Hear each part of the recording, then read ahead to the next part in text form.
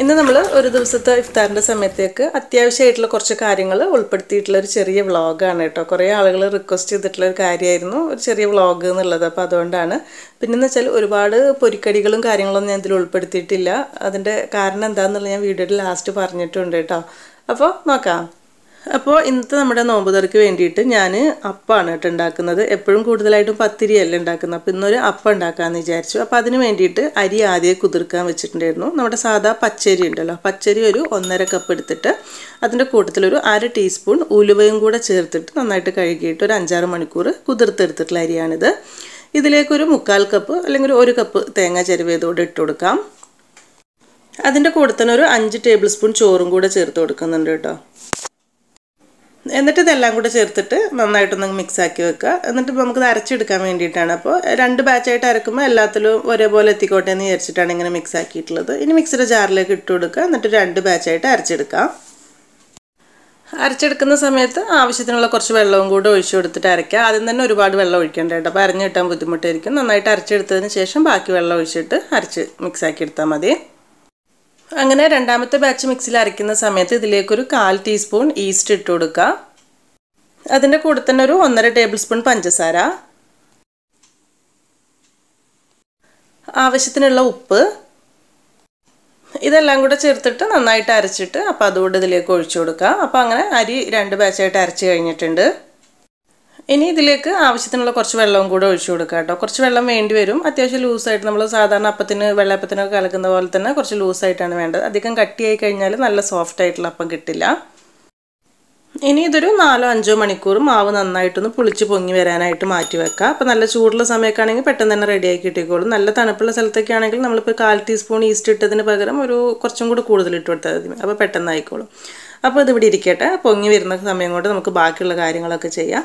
അപ്പോൾ ഞാനിന്ന് ചെറുകടിയായിട്ട് ഉണ്ടാക്കുന്നത് നമ്മൾ ഇറച്ചിപ്പത്തിരിയാണ് ആവിയിലുള്ളത്. അപ്പോൾ അതിലേക്കുള്ള മസാല റെഡിയാക്കാനായിട്ട് ഒരു പാൻ ചൂടാക്കി രണ്ട് ടേബിൾ സ്പൂൺ വെളിച്ചെണ്ണ ചൂടാക്കിയിട്ടുണ്ട്. ഇതിലേക്ക് ആദ്യം കുറച്ച് ഇഞ്ചി ചെറുതായിട്ട് മുറിച്ചത് ഇട്ട് കൊടുക്കുന്നുണ്ട്. അതിന്റെ കൂടെ തന്നെ ഒരു മൂന്ന് പച്ചമുളകും ചെറുതായിട്ട് മുറിച്ചിട്ട് കൊടുക്കാം. പിന്നെ കുറച്ച് കറിവേപ്പില കൂടി ഇട്ട് കൊടുത്തിട്ട് എല്ലാം കൂടെ നന്നായിട്ടൊന്നങ്ങ് മൂപ്പിച്ചെടുക്കുക. എന്നിട്ട് രണ്ട് മീഡിയം സൈസിൽ വരുന്ന സവാള ഇതുപോലെ ഒന്ന് കൊത്തിയരിഞ്ഞ് ചെറുതായിട്ട് മുറിച്ചെടുത്തതും കൂടി ഇതിലേക്ക് ഇട്ട് കൊടുത്തിട്ട് വേണം വഴറ്റിയെടുക്കാനായിട്ട്. ഈ സമയത്ത് തന്നെ ഇതിലേക്ക് ആവശ്യത്തിന് കുറച്ച് ഉപ്പ് ഇട്ട് കൊടുക്കുക. ഉള്ളിലേക്കുള്ളത് മാത്രം മതി കേട്ടോ. നമ്മൾ ബീഫ് ഇറച്ചിപ്പത്തിരിയാണ് ചെയ്യുന്നത്. അപ്പോൾ അതുകൊണ്ട് തന്നെ ഞാൻ കുറച്ച് ബീഫ് ആദ്യം ഉപ്പും മുളക് പൊടി മഞ്ഞൾപ്പൊടി ഇട്ട് വേവിച്ച് വെച്ചിട്ടുണ്ട്. അപ്പോൾ ഉള്ളി അത്യാവശ്യം നന്നായിട്ടൊന്ന് വഴന്ന് വരട്ടെ.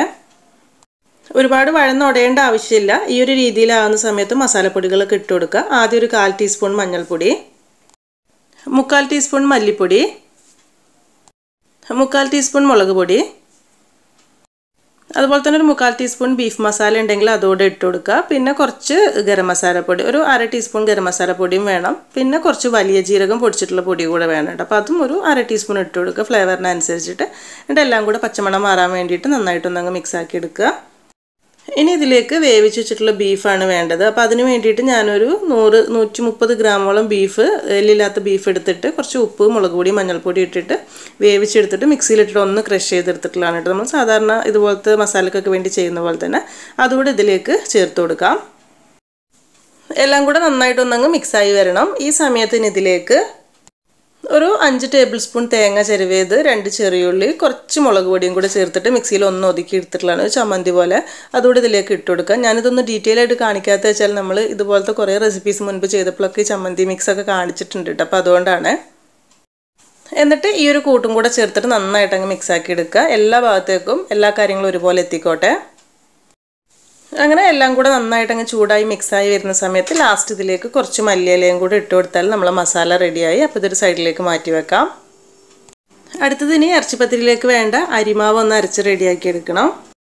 ഇതിപ്പോൾ ഒരു കപ്പ് പുഴുങ്ങലരിയും അതുപോലെ തന്നെ ഒരു കപ്പ് നെയ്ച്ചോറിന്റെ അരിയും കൂടെ ഒരു ഓവർനൈറ്റ് കുതിർത്തെടുത്തിട്ടുണ്ടായിരുന്നു. അതിലേക്ക് കുറച്ച് തേങ്ങ വലിയ ജീരകം ചെറിയുള്ളി കുറച്ച് പട്ട ഗ്രാമ്പു പച്ചമുളക് കാര്യങ്ങളെല്ലാം കൂടെ ചേർത്തിട്ട് പാകത്തിന് വെള്ളവും കൂടെ ചേർത്തിട്ട് മിക്സിയിലിട്ട് നന്നായിട്ടൊന്ന് അരച്ചെടുക്കുക. അപ്പോൾ ഇതിപ്പോൾ ഞാൻ കറക്റ്റ് അരിയും കാര്യങ്ങളൊന്നും കാണിക്കാത്ത വെച്ചാൽ നമ്മൾ മുൻപൊരു ചെമ്മീൻ പത്തിരി ചെയ്ത സമയത്ത് ഇതേ രീതിയിൽ തന്നെ കാണിച്ചിട്ടുണ്ട്. അപ്പോൾ ഇതിന്റെ ഇൻഗ്രീഡിയൻസ് ഒക്കെ സൈഡിൽ കൊടുത്തിട്ടുണ്ട്. നിങ്ങൾക്ക് സംശയം ഉണ്ടെങ്കിൽ ഒന്ന് നോക്കിയാൽ മതി. അരി അരച്ചെടുക്കുന്ന സമയത്ത് ആദ്യം തന്നെ കുറച്ച് വെള്ളം ഒഴിച്ചിട്ട് അരച്ചെടുക്കുക. അപ്പോഴേക്ക് നന്നായിട്ട് അരഞ്ഞു വരിക. എന്നിട്ട് ഇതുപോലെ ബൗളിലേക്ക് ഒഴിച്ചതിന് ശേഷം കുറച്ച് കൂടുതൽ വെള്ളം തന്നെ വേണം കേട്ടോ. ഈ സമയത്ത് മാവിലേക്ക് ആവശ്യമായിട്ടുള്ള ഉപ്പും കൂടി ഇട്ട് കൊടുത്തിട്ട് നന്നായിട്ട് മിക്സ് ആക്കി എടുക്കുക. എന്നിട്ട് പാകത്തിനുള്ള കുറച്ച് വെള്ളവും കൂടി ഒഴിച്ചു കൊടുക്കണം കേട്ടോ. അതാ ഈ ഒരു രീതിയിൽ ലൂസ് മതിയാവുക. അതായത് നമ്മൾ ഇറച്ചിപ്പത്തിരിക്കൊക്കെ ഉണ്ടാക്കുന്ന സമയത്ത് കൂടുതൽ കട്ടിയായി കഴിഞ്ഞാൽ കറക്റ്റ് ടേസ്റ്റ് ഒരിക്കലും കിട്ടില്ല കേട്ടോ. അപ്പോൾ എന്തായാലും അത്യാവശ്യം ഈ ഒരു ലൂസ് തന്നെ വേണം. അപ്പോൾ നമ്മൾ മാവ് റെഡി ആയിട്ടുണ്ട്. ഇനിയിപ്പോൾ ആവശ്യമ്പിൽ പാകത്തിന് വെള്ളം വെച്ച് തിളപ്പിക്കുക. എന്നിട്ട് ഞാനിപ്പോൾ ഒരു സ്റ്റീൽ പാത്രത്തിലേക്കാണ് നമ്മൾ പത്തിരി റെഡിയാക്കുന്നത്. ഏത് വലിപ്പത്തിലുള്ള പാത്രം വേണമെങ്കിലും എടുക്കുക അതിലേക്ക് കുറച്ച് നെയ്യ് തടവി കൊടുത്തിട്ട് ഇതിലേക്ക് വെച്ച് കൊടുക്കാം. എന്നിട്ട് ആദ്യം ഒരു രണ്ട് തവി മാവ് ഒഴിച്ചു കൊടുക്കുക. പാത്രത്തിന്റെ വലിപ്പം അനുസരിച്ചിട്ട് ഒഴിക്കുക കേട്ടോ. ഈ മാവിന്റെ മേലേക്ക് നമ്മൾ റെഡിയാക്കി വെച്ചിട്ടുള്ള ആ ഒരു ബീഫിന്റെ മസാല ഉണ്ടല്ലോ കൂട്ട്. അത് ഇതിലേക്ക് കുറച്ച് ഇട്ട് കൊടുക്കുക. മസാല ഫില്ലിങ് അത്യാവശ്യം ഉണ്ടായിക്കോട്ടെ. എന്നാൽ തന്നെ ആയിരിക്കും ടേസ്റ്റ് ഉണ്ടാവുള്ളൂ.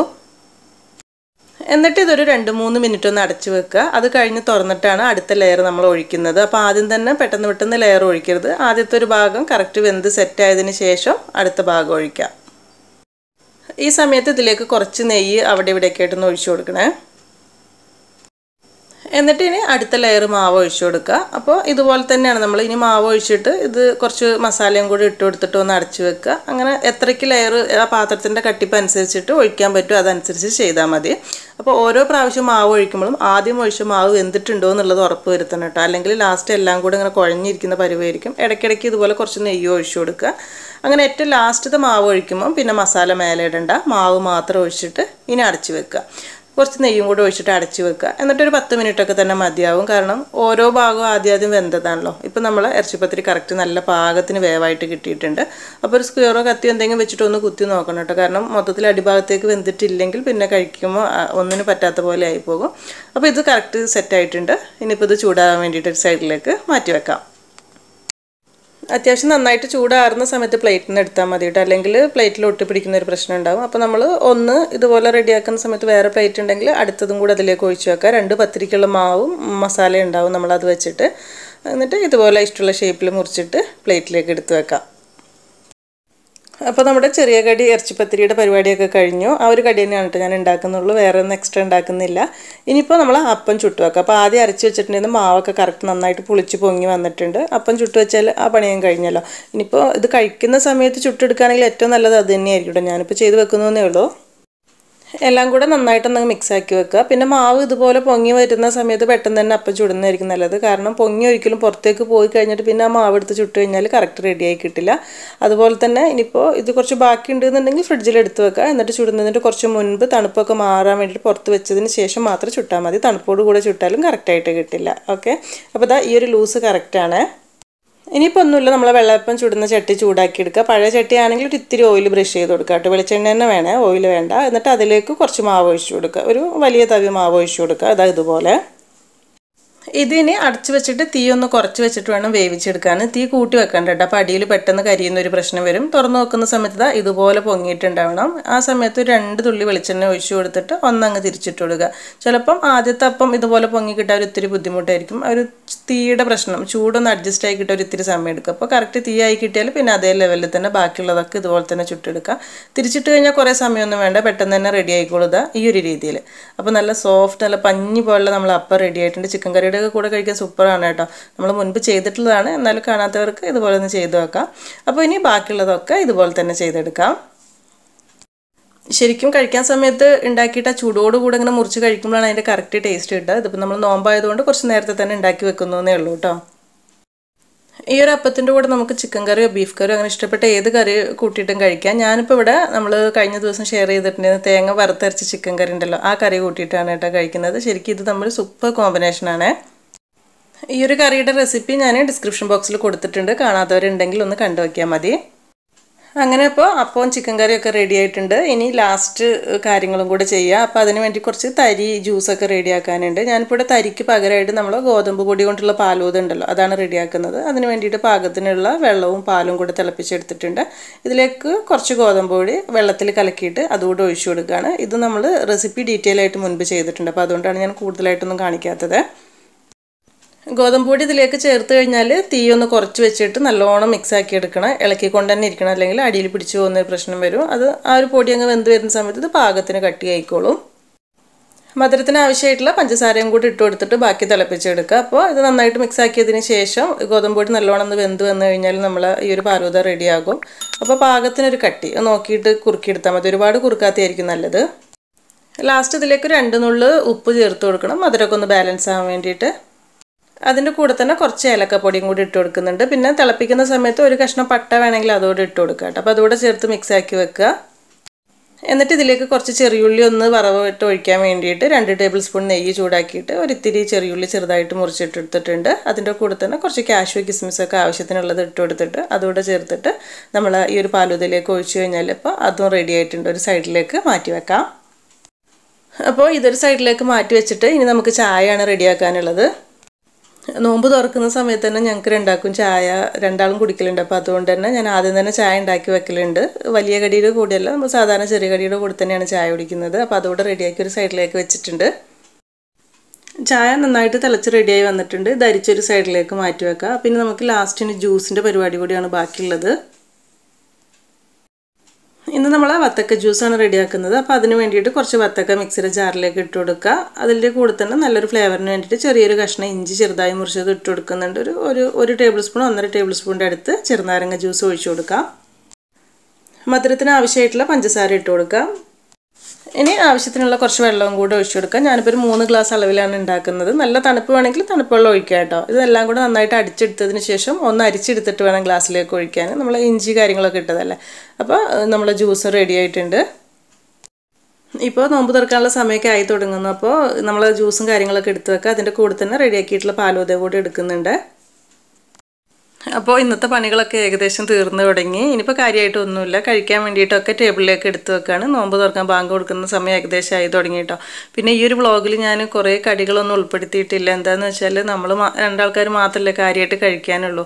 മുൻപൊക്കെ എന്ന് വെച്ചാൽ നമ്മൾ കുറേ റെസിപ്പീസ് ഉണ്ടാക്കിയാലും കുറച്ച് അടുത്തുള്ളവർക്കും താഴെ കടകളിലുള്ളവർക്കൊക്കെ കൊടുക്കുമായിരുന്നു പക്ഷേ ഇപ്പോൾ ഈ ഒരു കൊറോണേന്റെ പ്രശ്നമൊക്കെ വന്നതുകൊണ്ട് കൂടുതൽ ഫുഡ് പുറത്തേക്ക് അങ്ങനെ കൊടുക്കാൻ പറ്റില്ല. പിന്നെ നമുക്ക് കൂടുതൽ നമുക്ക് കഴിക്കാൻ പറ്റുന്നല്ലേ ഉണ്ടാക്കാനും പറ്റില്ല അപ്പോൾ അതുകൊണ്ടാണ് കേട്ടോ. അപ്പോൾ ഇനി എന്തായാലും പുതിയ വ്ളോഗ്സിലൊക്കെ വേറെ വെറൈറ്റി റെസിപ്പീസ് ഒക്കെ ഉൾപ്പെടുത്താം. ഇന്നത്തെ സ്പെഷ്യൽ ഇറച്ചി പത്തിരി ഓറഞ്ച് വാട്ടർമെലൺ ഡേറ്റ്സ് പിന്നെ ഒരു തരി പിന്നെ വാട്ടർമെലൺ ജ്യൂസ് ഇതാണ് നമ്മളുടെ ഇന്നത്തെ സ്പെഷ്യൽ അപ്പോൾ ഇത്രയുള്ള പരിപാടി. നമ്മളിപ്പോൾ ഇത് കൂട്ടിയിട്ട് ബാങ്ക് കൊടുക്കുന്ന സമയത്ത് നോമ്പ് തുറക്കും. അത് കഴിഞ്ഞിട്ട് പിന്നെ നിസ്കാരമൊക്കെ കഴിഞ്ഞിട്ടാണ് നമ്മൾ ആദ്യം ഉണ്ടാക്കി വെച്ചിട്ടുള്ള അപ്പം ചിക്കൻ കറിയൊക്കെ കഴിക്കുന്നത്. അപ്പോൾ ഈ ഒരു വീഡിയോ എല്ലാവർക്കും ഇഷ്ടമായി എന്ന് വിചാരിക്കുന്നു. ഫീഡ്ബാക്കൊക്കെ അറിയിക്കുക. അപ്പോൾ ഇനി എന്തായാലും നല്ല റെസിപ്പീസായിട്ട് പുതിയ വീഡിയോയിൽ കാണാം കേട്ടോ. താങ്ക്